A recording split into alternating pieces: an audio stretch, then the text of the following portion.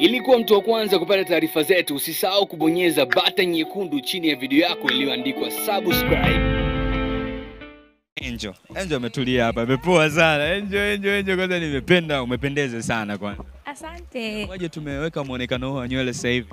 Nywele zangu za kila siku hizi tu, labda tu nimebadilisha style maybe na kuwekaweka rangi rangi kidogo, lakini Kwa njonjo njonjo yani naona. eh, Eh, Bana miaka 10 ya Diamond Platnumz. Angel, unajifunza kitu gani? Maana najua kabla hujaingia WCB uko unamfahamu Diamond Platnumz. Na kwa unaona uwezo wake. Imefika wakati umeanza kufanya naye kazi, mpaka sasa hivi unafanya naye kazi. Unamzungumziaje?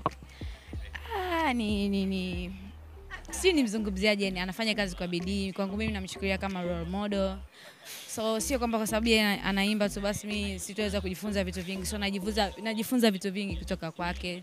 Sina chochote cha kusema zaidi ya kwamba aendelee kutu inspire vijana kama sisi.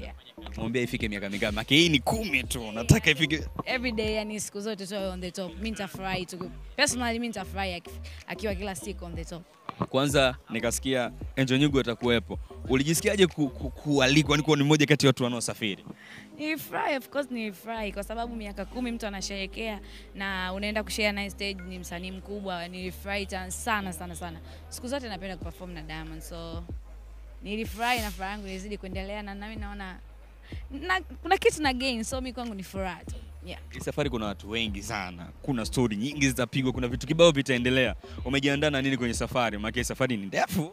mi nimejiandaa ku have fun kwa sababu mi napenda sana adventures kusafiri safiri nini napenda sana so nimejiandaa ku have fun sitaki hata kidogo yani hata sekunde nipoteze ile hamu ya kuwa na furaha so na, na, natumaini nitafurahi na vitu vyote vitaenda sawa yeah. Tunasogea huku nje, nakumbukaga tumezunguka festival nyingi sana, ni minawe nyingi, yani kama zote umezunguka, lakini Kigoma ilikuwa bado.